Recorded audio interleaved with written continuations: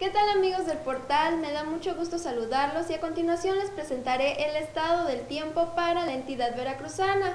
Comenzando en la zona norte, en Tuxpan, 31 grados la máxima, 22 grados la mínima y se espera que esté despejado. En Poza Rica, 31 grados la máxima, 21 grados la mínima, se espera que esté despejado, aunque también la probabilidad de lluvias está latente. En Jalapa, la capital del estado, 23 grados la máxima, 13 grados la mínima, se espera que esté nublado y lluvias. En Veracruz, Puerto, 30 grados la máxima, 25 grados la mínima y se esperan lluvias.